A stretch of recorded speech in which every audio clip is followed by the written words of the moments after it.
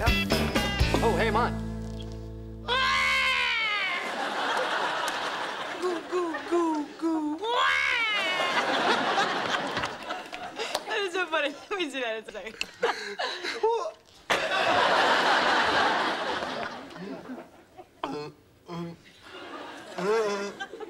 You okay, Ross? I don't know. Uh, what's in this pie? Uh, I don't know, um, butter and eggs and flour and lime and kiwi Ki- and... kiwi? Kiwi? You said it was a key lime pie. No, I didn't. I said kiwi lime. That's what makes it so special. That's what's gonna kill me.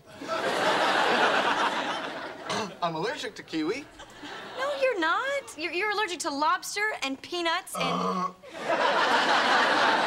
oh, my God. Uh, it's definitely getting worse. Okay. All right. Is your tongue swelling up? Either that or my mouth is getting smaller. All right, get your coat. We're gonna go to the hospital.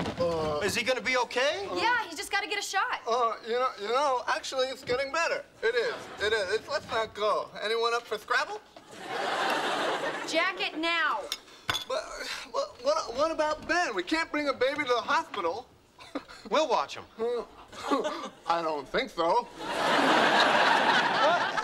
I have seven Catholic sisters. I've taken care of hundreds of kids. Come on, we want to do it, don't we? Well, I was looking forward to playing basketball, but I guess that's out the window. Okay, well, if you do take him out for a walk, just remember to bring his hat, okay? And there's extra milk in the fridge and extra diapers in the bag. Hat, milk. D- got it. Okay, and throw up a throw up a throw throw. A throw up a thing. Throw up a throw throw. A throw throw. Consider it done. You understood that? Yeah, my Uncle Sal has a really big tongue.